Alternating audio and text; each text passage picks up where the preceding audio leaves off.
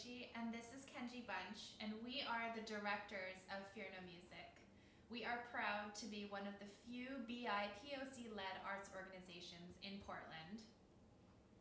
At Fear No Music, our mission is to help redefine traditional notions of whose voices are heard on the concert stage, to help promote empathy and understanding through cross cultural connections and to nurture the next generation of young composers here in our region and beyond.